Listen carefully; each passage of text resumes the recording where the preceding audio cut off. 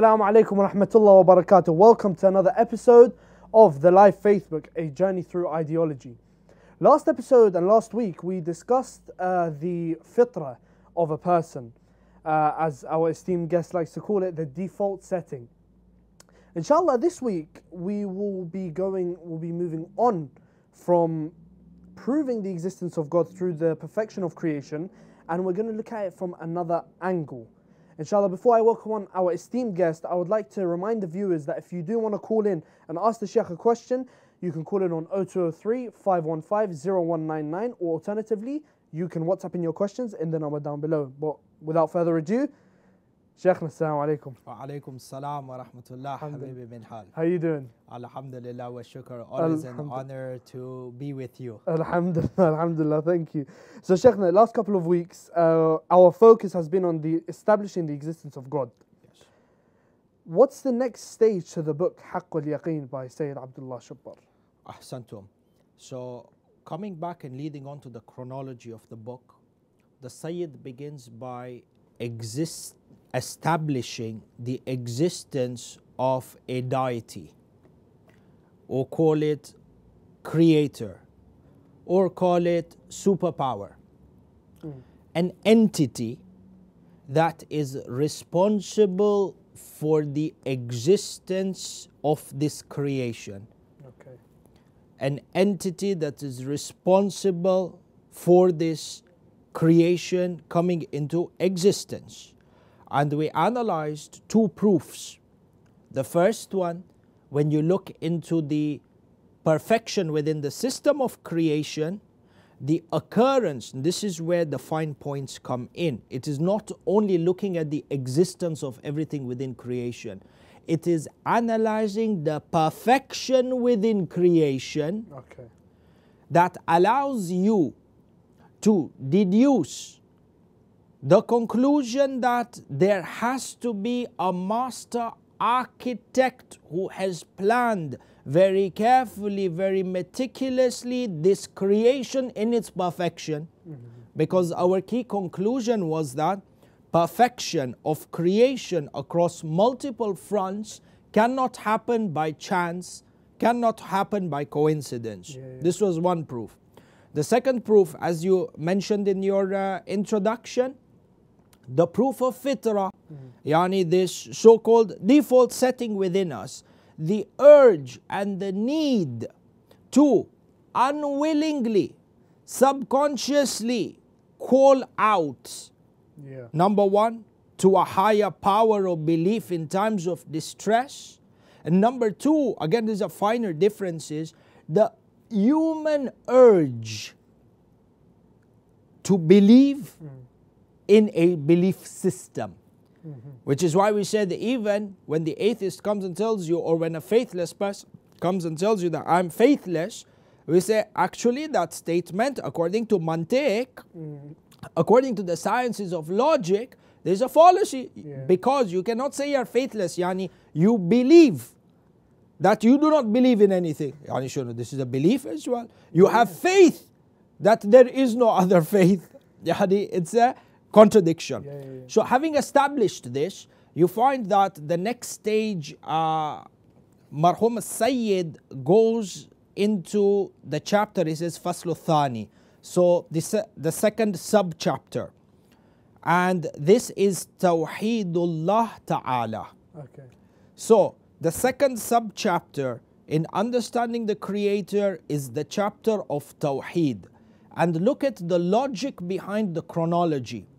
After having established the existence of a deity or a superpower responsible for this creation, the next step now is to establish and to understand how many deities are there, How many superpowers are there? Mm. Yeah, and how many gods are there?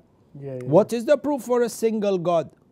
If a person comes and claims that there are two gods or three gods or multiple gods, what is the proof for these multiple gods? Existence of multiple gods, number one. And number two, on the other hand, what is the proof for the existence of a single God? Fair point. So the Sayyid comes out with the introduction on Tawheedullah Ta'ala. And you will find that in this chapter, Tawheed, يعني loosely translated as the oneness of Allah. Yeah, yeah. yeah. Very loosely translated. You look at majority of the translations within the books of Kalam and so on and so forth. Tawheed, yani the unity of Allah or the oneness of Allah. You find over here that the Sayyid begins the discussion with Tawheed, oneness of Allah, beginning the definition, dives into the definition of the oneness of Allah, and then he goes on to state the hadith and verses of the Quran that would disprove the multiplicity of the creators.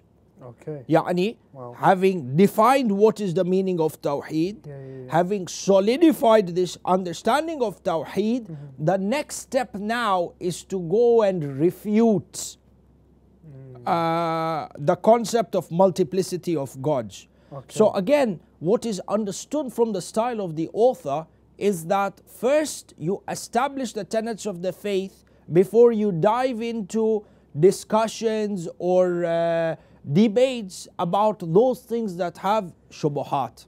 Okay. And you find that uh, in essence, Habib Minhal, from you know when you study into these books and uh, you understand the manhaj Yeah.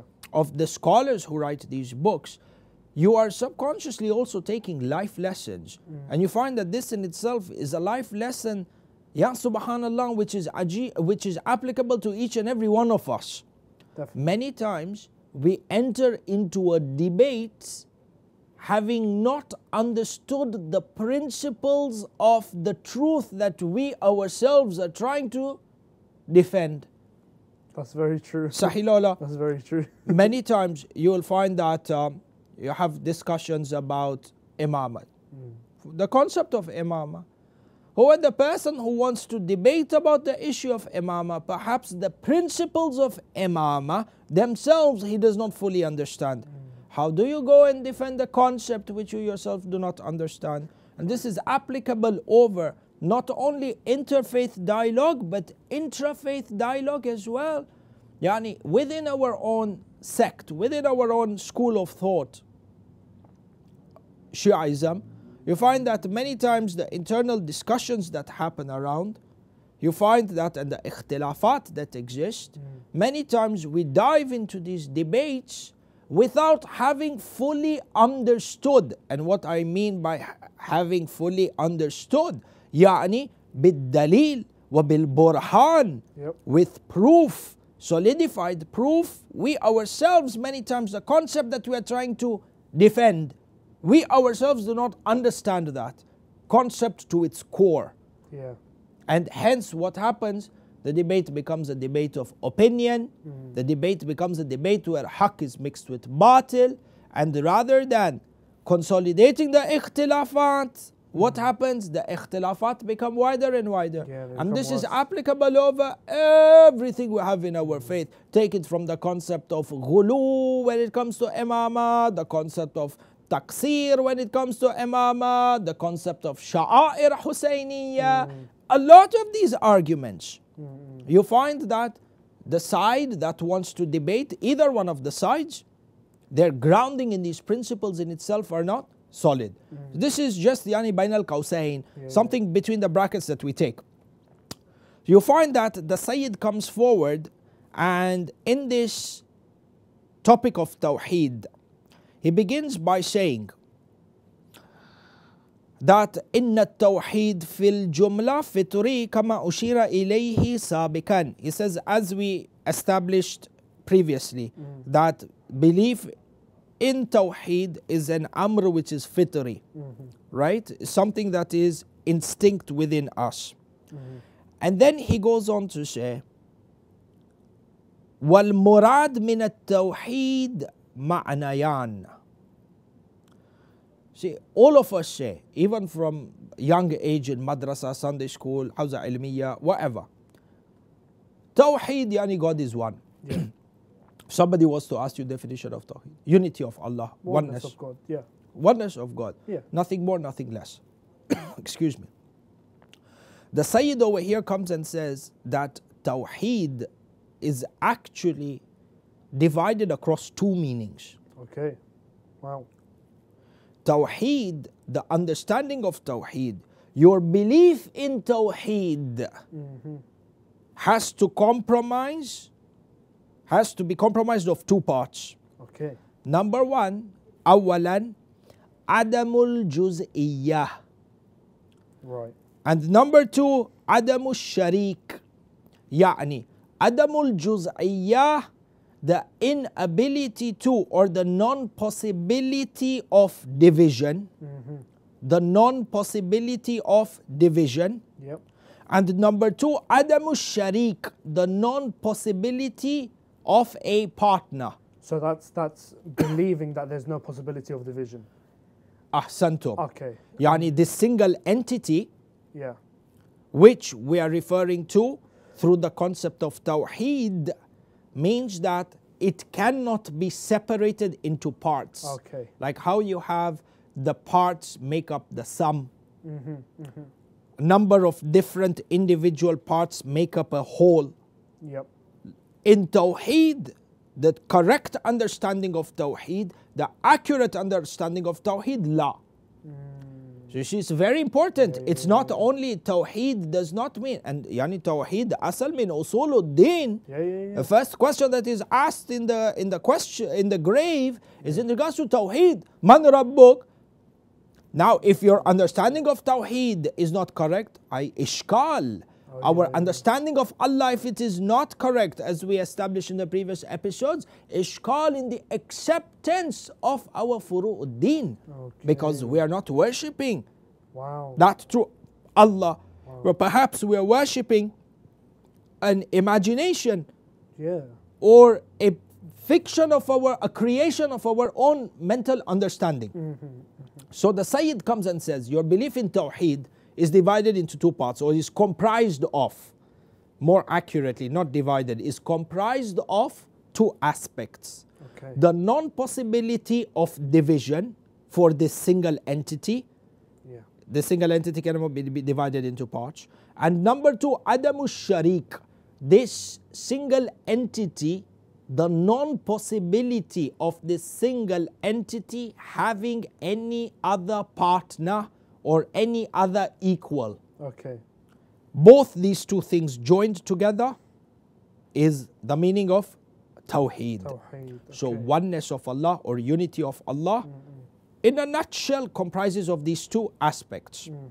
And then, having said this, the Sayyid then goes on to say, روى الصدوق في التوحيد مسندا عن هاني ابن شريح Sheikh al-Saduq in his book Tawheed narrates a tradition on authority of Hani ibn Shuraih.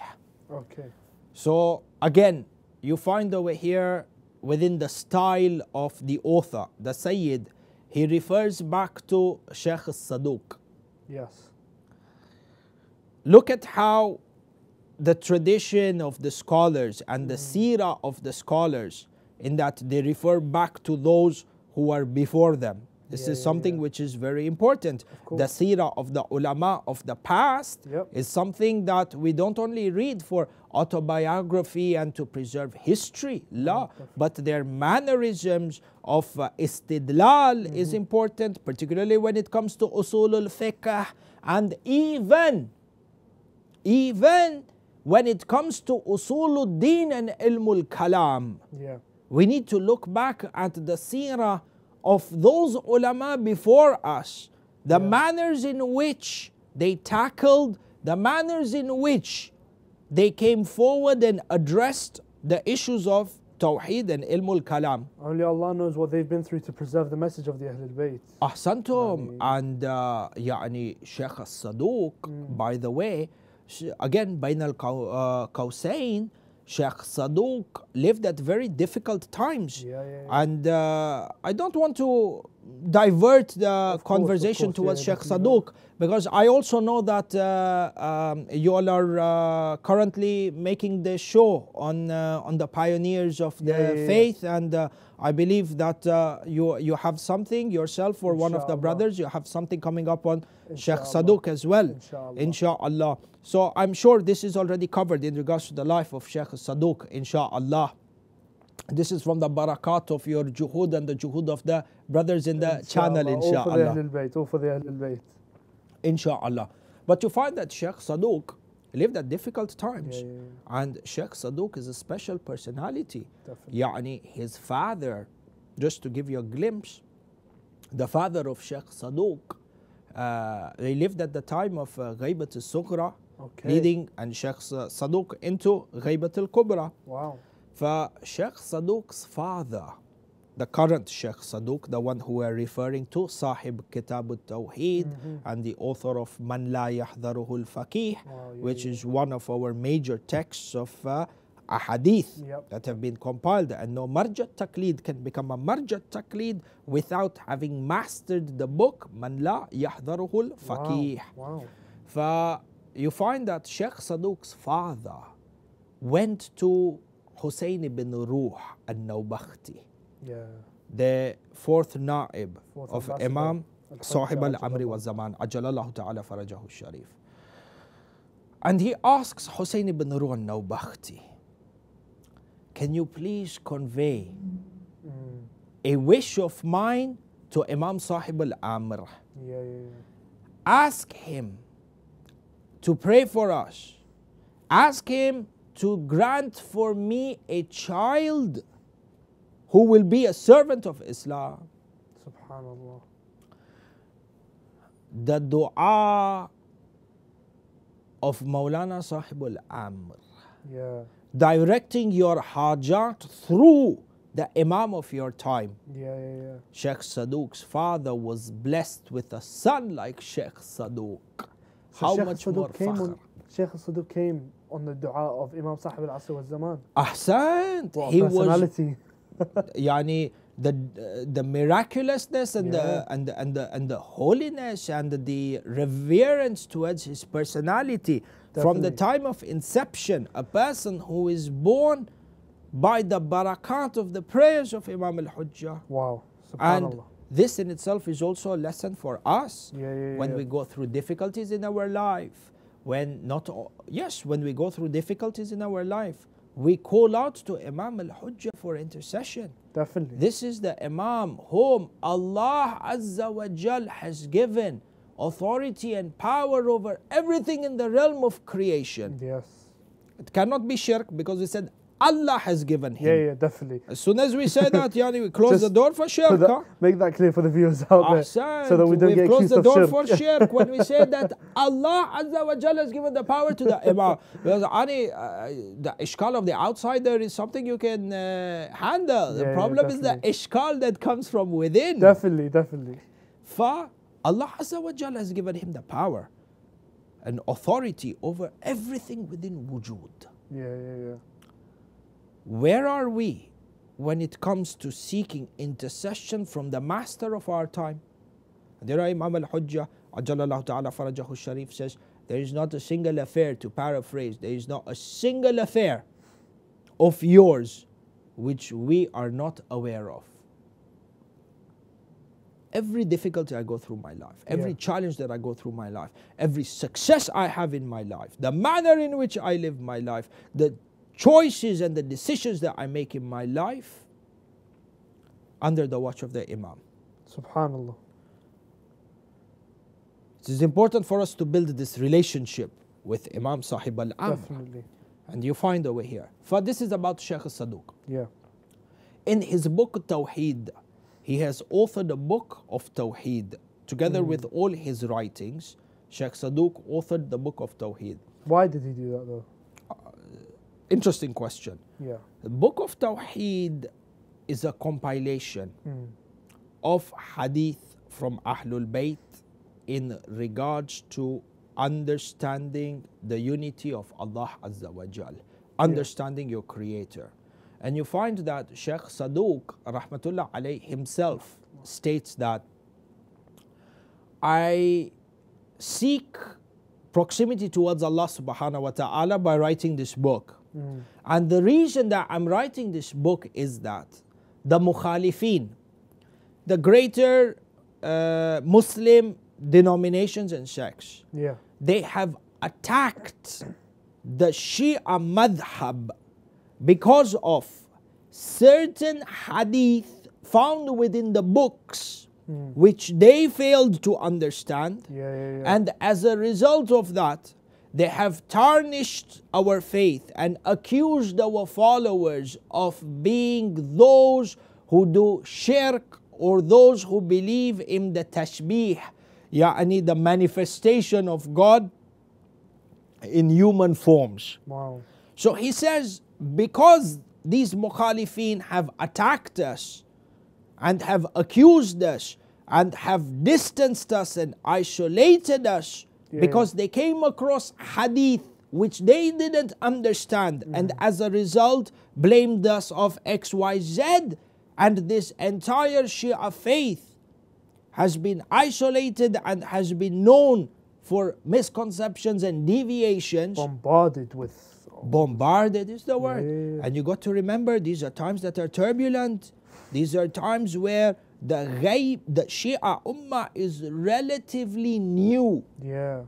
in this era of ghaibah. New and oppressed. Oppressed for sure. Oppressed yani taba'an. From the time Rasulullah sallallahu alayhi wa sallam was martyred, the Shia have been oppressed. From that time onwards and until today. For you find that Sheikh Saduq, Sheikh Saduq comes up with this writing at a very crucial time. You look at the entire context in which he authors the book. Imam is in Ghaiba. It's a very relatively new era. The mm-hmm. Shia Ummah is, you can almost say, learning to stand on its feet and cope with maintaining its religion without having access to the Imam like the previous people did, Yeah. at least in a relative yeah, manner yeah, definitely. everything is gone Whatever you have in regards to the communication with the Imam has to go through the Naib. Mm-hmm. Yep. Yep. Imam's whereabouts are not known. People have sh- doubts in their mind whether the Imam exists or not. And then on top of that, the Mukhalifin have come and have bombarded your faith. And this is the important part Sheikh Saduq narrates.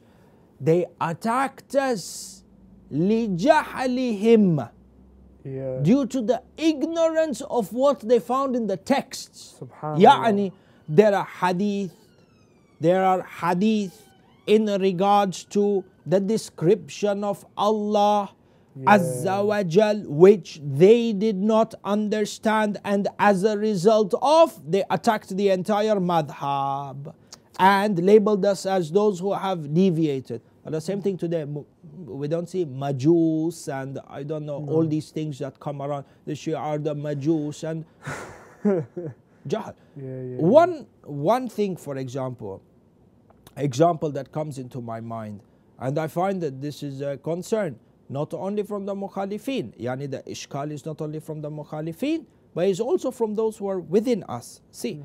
we have to strengthen our belief in house. Yeah.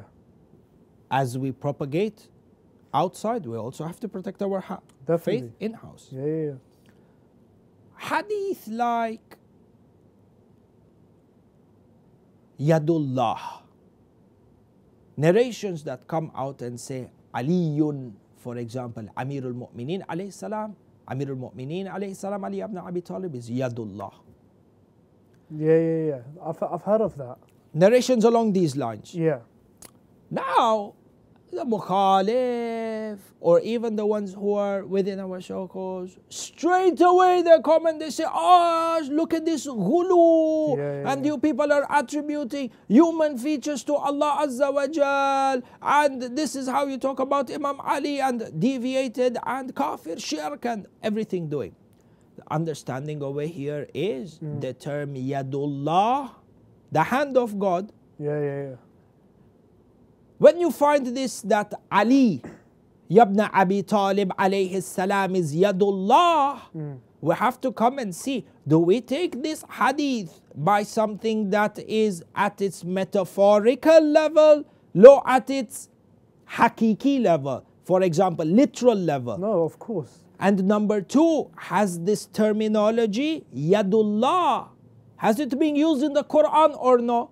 Ahna Yadullah we have within the Quran. The hand of Allah Azza wa Jal is on top of their Hajj. Yeah. So we under now when the Quran says Yadullah, does it mean it's a physical hand of No, Allah with five not. fingers and a hand? La, it means the indicates something metaphorical, Yeah. something much greater. One example from the many examples that are there, the hand of God mm. supposed to be one example of many or one answer of many. Yeah. The hand of God is a metaphorical phrase that signifies the strength of Allah. Yeah.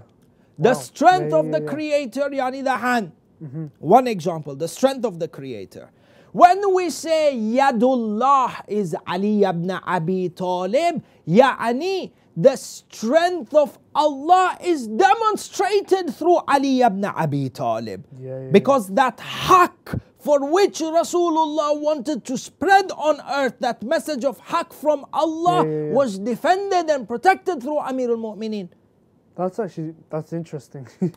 that's Fa, like the way you said the lion of Allah. Yeah, yeah, Yani yeah. does it mean the actual lion? of- No. No. Lion of Allah the, shows you the warrior that defended the principles of Allah Azza wa Jal. It's the same thing with you know when they tried um, when they try to bring people to Islam Yes. and the the people that are that, that they're trying to bring they say oh no but your Quran says kill the disbelievers so why are you not killing me and they tell you no it's not the literal meaning Yeah. well why do you have exceptions why don't you have exceptions why do you not say that when Imam Ali ibn Abi Talib says ana wajhullah ana yadullah I'm the face Yeah. of God I'm the hand of God why do you not it, why do you not tell them that it's a metaphorical meaning why do you have to take the literal meaning Because it goes against their interest then. yeah So ahsantum, it's a very fair point.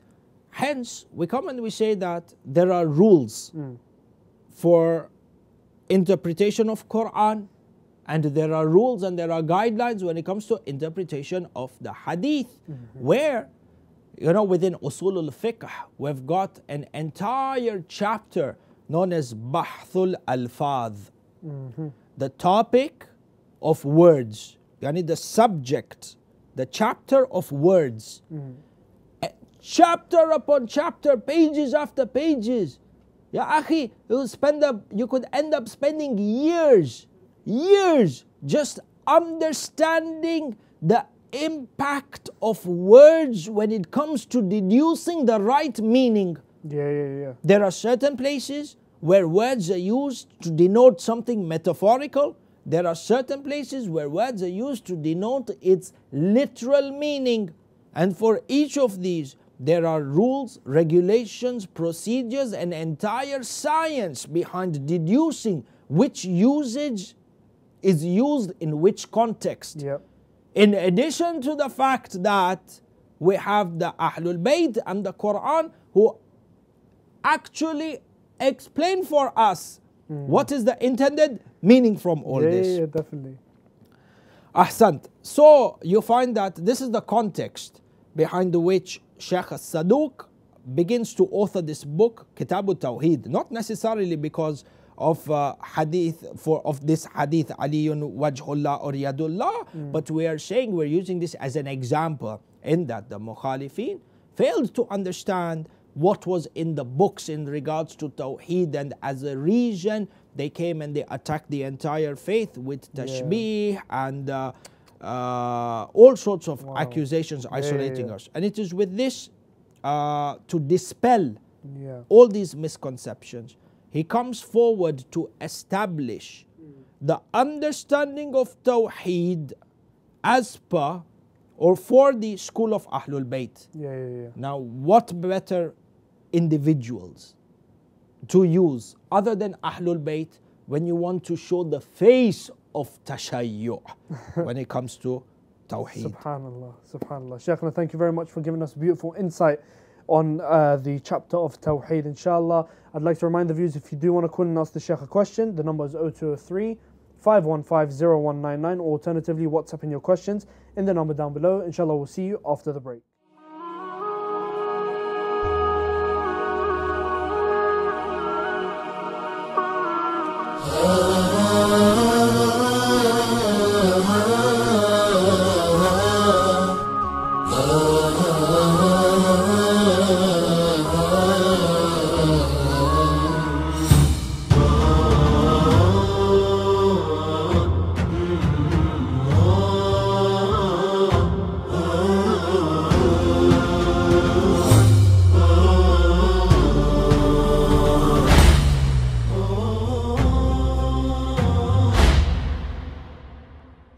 Alaikum wa rahmatullahi wa barakatuh. Welcome back to the second segment of the Live Faith Book, a journey through ideology.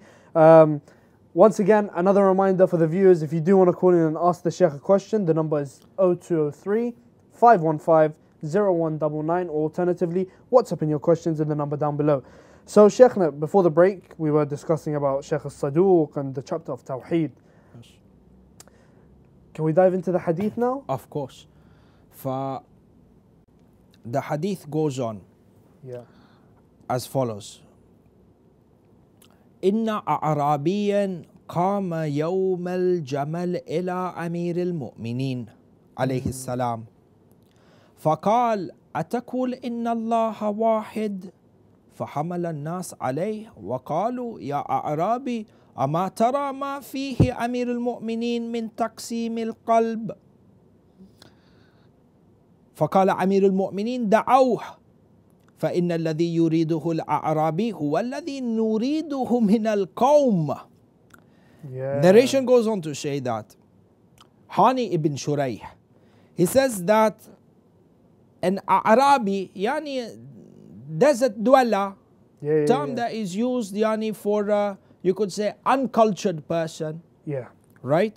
He approached Amirul Mu'mineen alayhi salam on the day of Jamal. Okay. So the battle of Jamal, Which was the first war he fought. which was uh, the first war he fought after the martyrdom of Rasulullah Sallallahu alayhi wa alayhi. sallallahu alayhi wa alihi wasallam. And uh, Jamal, yani, an important historical event where Aisha bint Abu Bakr wages war against Amir al-Mu'minin alayhi salam. So the hadith says that this person, the Arabi, comes to Amir al-Mu'minin on the day of the war. Mm-hmm. During the war of Jamal, as the battle of Jamal is taking place. Okay. And he says to him, he approaches Amir al-Mu'minin and he says to him, Atakulu inna Allah wahid. He came and he asked Amir al-Mu'minin and he says, Do you believe, do you say that God is one? فَحَمَلَ النَّاسَ عَلَيْهِ وَقَالُوا The people Yeah. attacked, they jumped on this guy. yeah. And they said to him, Do you see the state in which Amir al Mu'mineen is?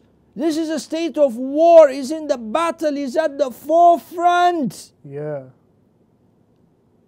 Why are you trying to distract him? And do you think this is the appropriate time to come and ask him about Tawheed? Yani, do you believe in one God? Uh, Should I? So now we're in a problem over here. The Ummah is being divided into two.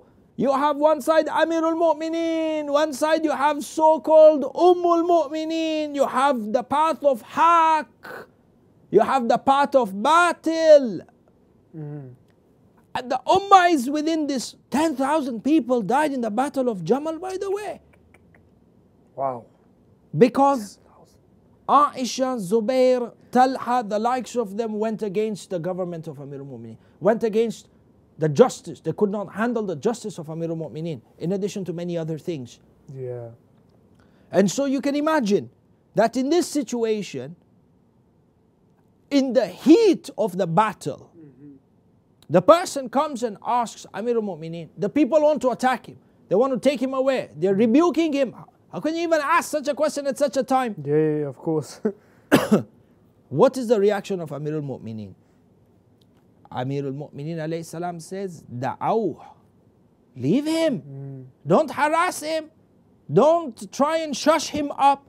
Don't intimidate him. Yeah. Let him come and ask the question. Look at the answer of Amir al-Mu'mineen. Ahlak bila shak. Wow.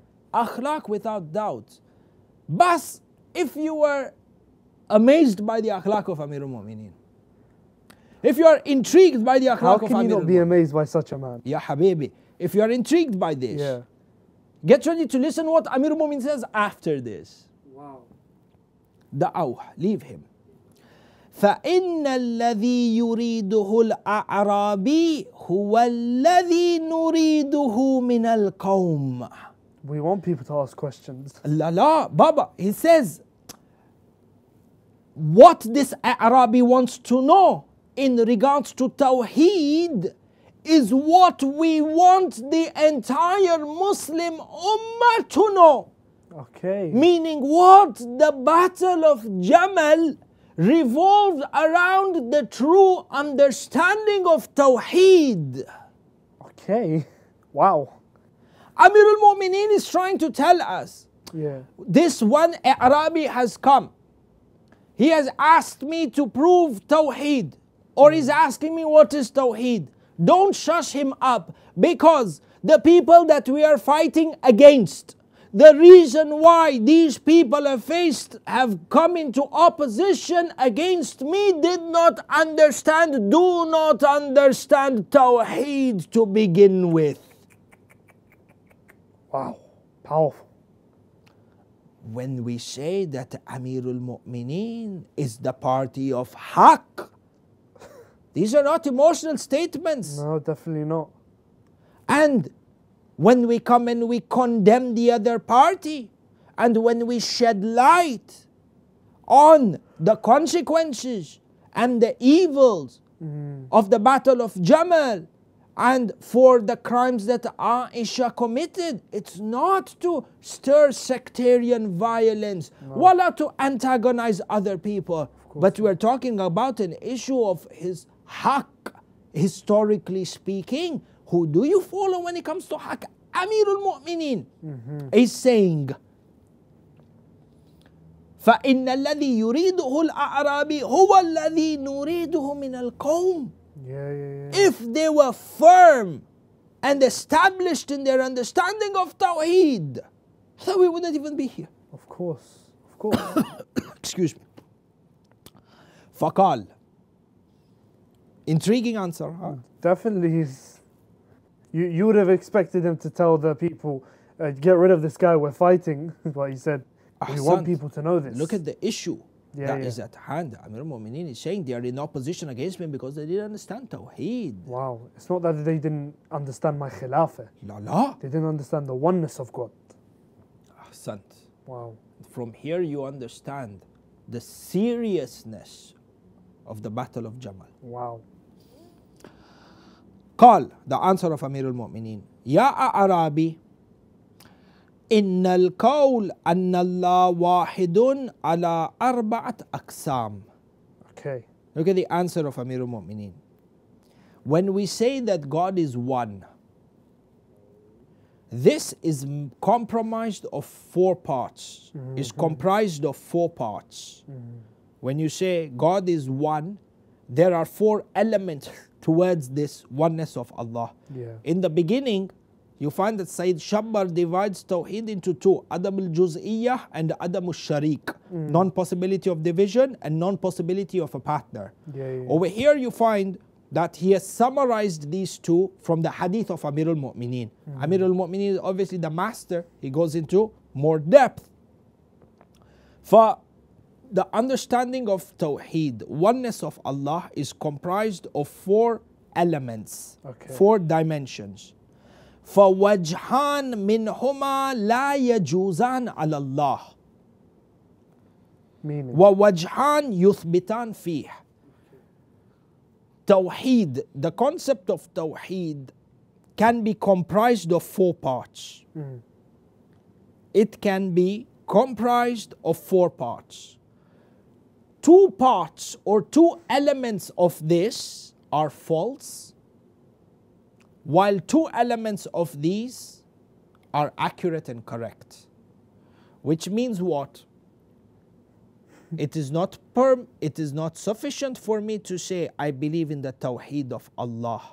Because through the hadith of Amir al Mu'mineen, we understand that you could believe in Tawheed, but if your belief of Tawheed is based on these two faculties that are wrong, then you have missed the point. Yeah. You have not understood the Bari. Yani, you could still claim to be a muwahid, but because your understanding is in these two aspects or these two categories that are incorrect. wow. And he says there are two categories of tawheed which are correct and acceptable. Okay. And then he goes into the explanation. فأما اللذان لا يجوزان عليه يعني two understandings of tawheed that are incorrect Yeah. two dimensions of tawheed that are incorrect Yeah. number one فقول القائل واحد Mm. يقصد به باب الأعداد فهذا ما لا يجوز Yeah. he says if your understanding of tawheed is that God is one Mm. but your usage of the word your understanding of the word one Yeah. is from a numerical dimension or restricted to a numerical dimension, Yeah. then that understanding is incorrect. Yeah. Yeah. Yeah. Ajib. Why? Ama tara annahu kafara man kal thalithu thalatha? Yeah.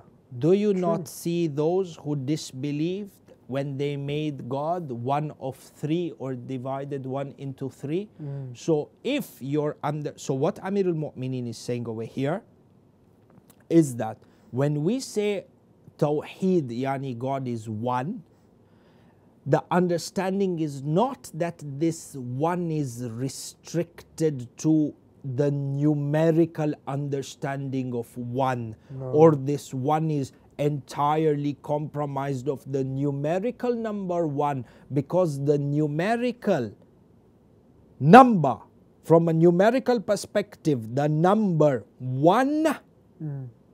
can be replicated and increased to two Yeah. and that 2 can be replicated and increased to 3. Wow. So, if your understanding of the concept of 1 is from a numerical perspective, where this 1 can be added to another 1 and to a third 1, Amir al-Mumin says, La, this belief of Tawheed, this understanding of Tawheed is incorrect Okay. from a numerical perspective. Now, and you will see what Amir al Mu'mineen is pointing towards.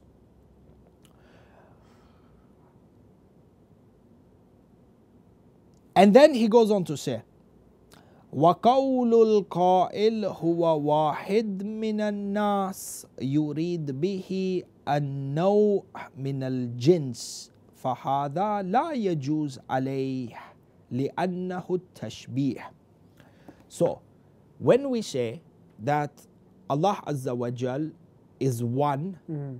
but not confined, restricted, or encompassed through the numerical understanding, this is to establish within our thoughts that when we say God is one, yani this one as a numerical number cannot be replicated and then added or from this addition derive or extract another number Yeah. yeah, yeah. because you use the number one to add To a certain value. to another value, Yeah. Yeah.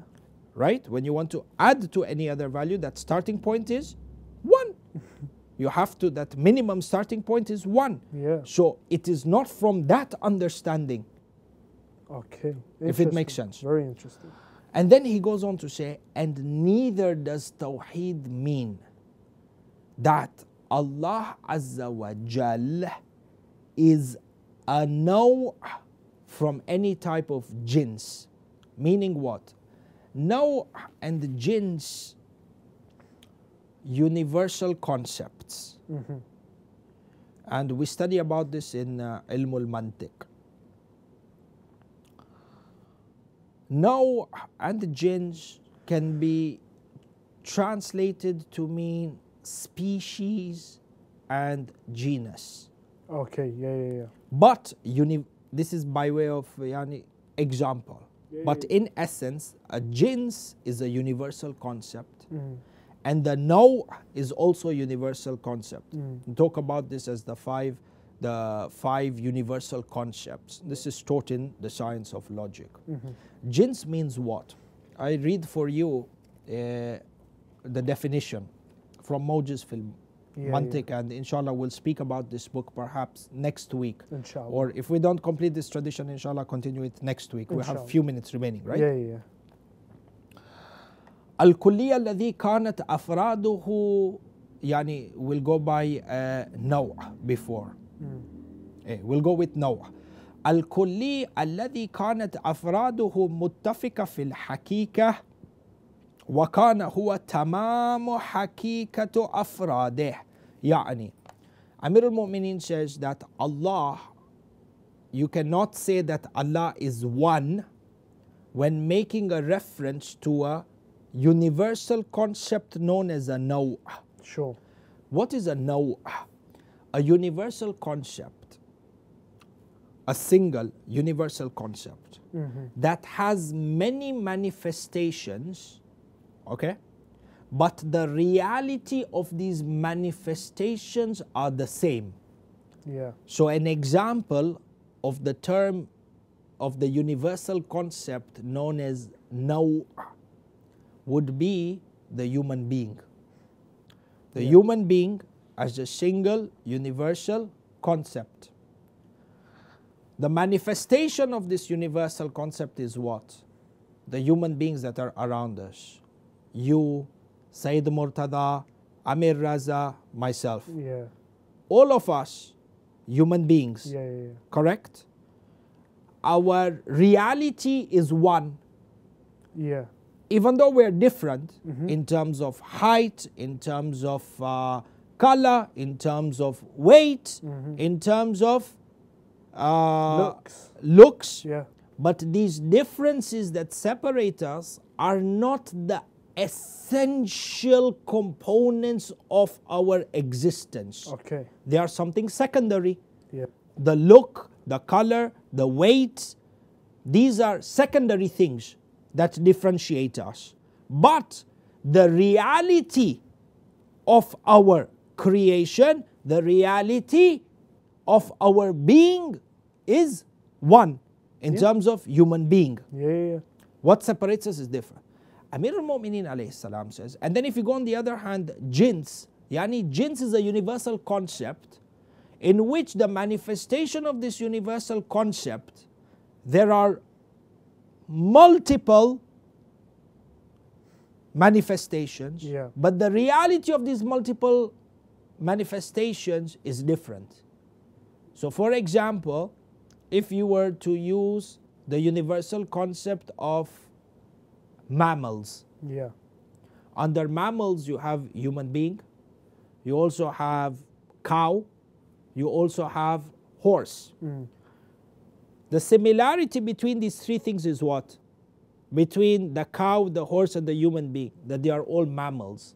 But the reality behind all three of us is very different. Different. Very different. So Amir al-Mu'minin alayhi salam says over here, والقول وقول القائل هو واحد من الناس هو واحد من الناس يريد به النوع من الجنس فهذا ما لا يجوز عليه لأنه تشبيه.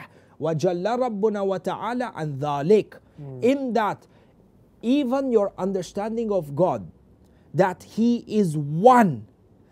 But if you feel or you understand or you think that he is one of a kind, Oh, yeah. even though he's unique and he's one, but he's one of a kind, Yeah, yeah, yeah. in which that there can be another universal concept through which there can be a manifestation of this single one, Mm. that understanding of Tawheed is wrong. Wow.